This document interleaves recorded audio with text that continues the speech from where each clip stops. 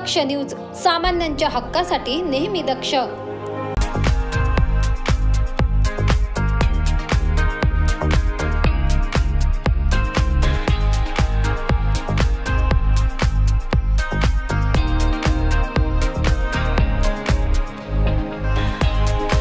केंद्रीय राज्यमंत्री रामदास आठवले यांनी नाशिक येथे पत्रकार परिषद घेतली. त्यावेळी त्यांनी अनेक विषयांवर चर्चा करत महत्त्वाचे मुद्दे मांडले. समीर भाई आहेत बाबा आहेत उत्तमजी आहेत एक सेकंड त्याच्यानंतर गायके आहेत शिळके आहेत वालमारे आहेत साठे आहेत दुबेचे नंदा शेठ आहेत आणि आपण सर्व आहात पुनश्च मनापासून आपलं अभिनंदन करतो एक त्या शब्द ज्येष्ठ कार्यकर्ते शंकररावजी काकडे यांची शोक सभा होती त्या शोक सभेसाठी बघा इलेक्शनची धामधूम आहे त्यांचा चळवळीचा कार्यकर्ता आहे सर्व सोडून। आज यासाठी की आज इलेक्शनच्या माघारी शेवटचा क्षण.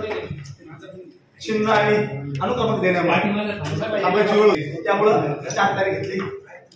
सर्वप्रथम आपले आभार मानतो. एवढा विजय सुरू असताना सुद्धा तिथं छाननी असताना माघारी असताना धामधूम असताना एक मंत्री महोदय आहे ते सोडून आपण सर्व आलात. मी तुमचं मनापासून अभिनंदन करतो. आभार मानतो. आणि आपले साहेब संबोधित करतो उपस्थित आहोत.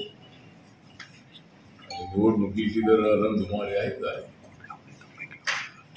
एका बाजूला साजरी होत आहे दिवाळी. एका बाजूला साजरी होत आहे दिवाळी.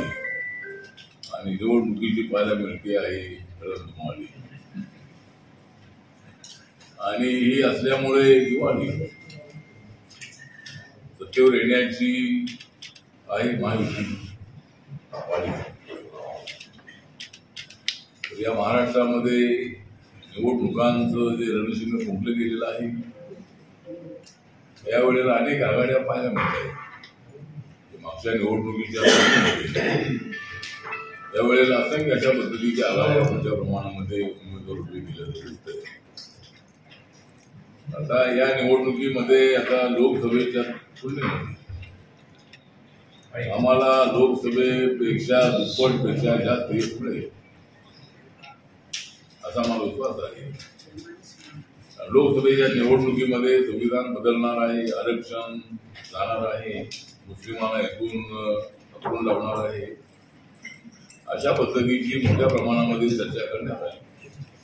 आणि विरोधक काही प्रमाणामध्ये लोकांना गंभीर करण्यामध्ये यशस्वी झाले आणि त्यामुळं मॅक्झिमम आमच्या ज्या जागा आहेत पाहिजे होत्या त्या महाराष्ट्रामध्ये आणि देशामध्ये नरेंद्र मोदींचं सरकार हे तिसऱ्यांदा आलेलं आहे. पंधरा वर्ष प्रधानमंत्री बनण्याचा जो सन्मान आहे. हा नेहरू साहेबांच्या नंतर हा नरेंद्र मोदींना मिळालेला आहे. आणि यावेळेला मात्र हा महाराष्ट्राच्या निवडणुकीमध्ये संविधानाचा मुद्दा चालणार नाही. आरक्षण जाणार आहे हा मुद्दा चालणार नाही. मुस्लिम समाजाने मोठ्या प्रमाणामध्ये महाविकास आघाडीला आणि आघाडीला मतदान केलं होतं.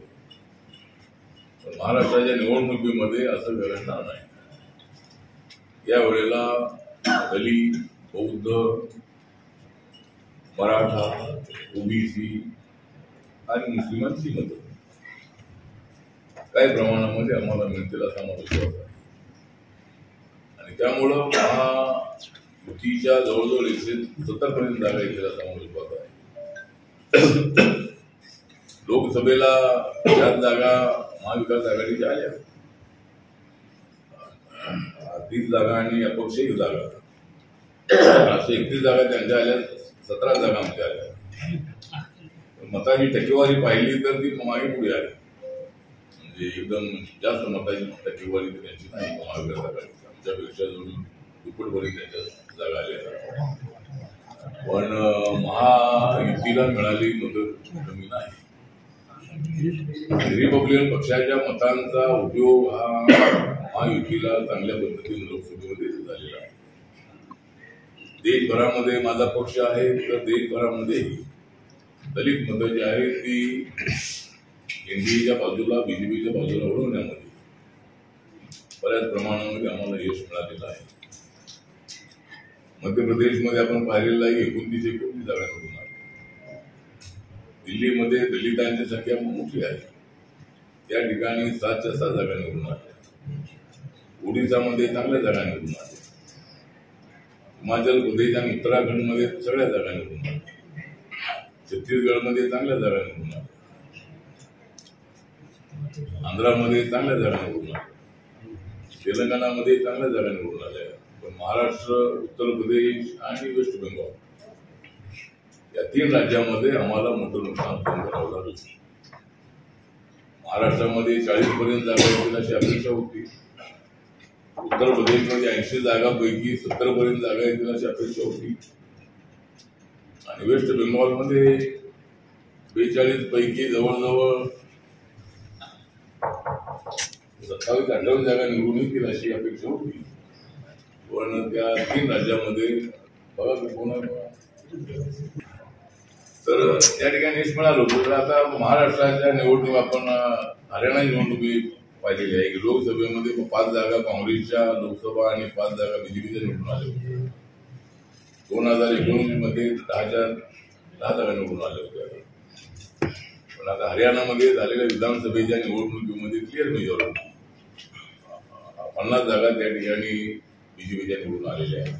त्यामुळं आमचा कॉन्फिडन्स वाढलेला आहे. आणि लाडकी बहीण ही योजना अत्यंत ऍक्टिव्ह अशी जाहीर करण्यात आलेली आहे. आणि त्या योजनेचा आम्हाला फायदा होणार आहे. महाराष्ट्रामध्ये मुंबईमध्ये केंद्राचा मोठ्या प्रमाणामध्ये पैसा आलेला आहे.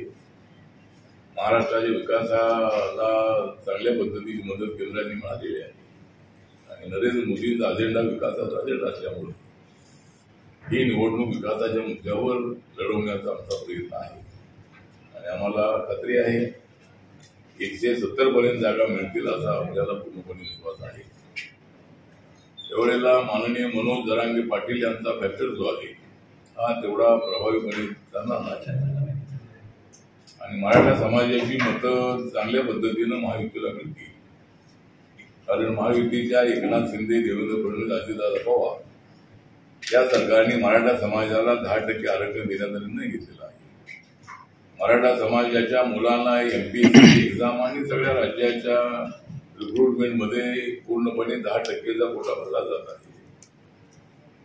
आणि मराठा समाजाला न्याय देण्याची भूमिका महाराष्ट्र सरकारची आहे. एकतर दरांगे पाटील यांचं मी आभार व्यक्त करतो. त्यांनी यावेळेला घेतलेली भूमिका अत्यंत चांगली आहे. जास्त जागा न लढण्याचा त्यांनी निर्णय घेतलेला आहे. काय जागा पाडण्याचं त्यांनी जाहीर केलेलं आहे. आणि बाकीच्या कुठल्या जागा निवडून आणायच्या ते त्यांनी जाहीर केलेलं आहे. त्यांच्या प्रेसमध्ये. पण तो फॅक्टर यावेळेला आमच्या विरोधामध्ये तेवढा जाणार नाही. त्यामुळं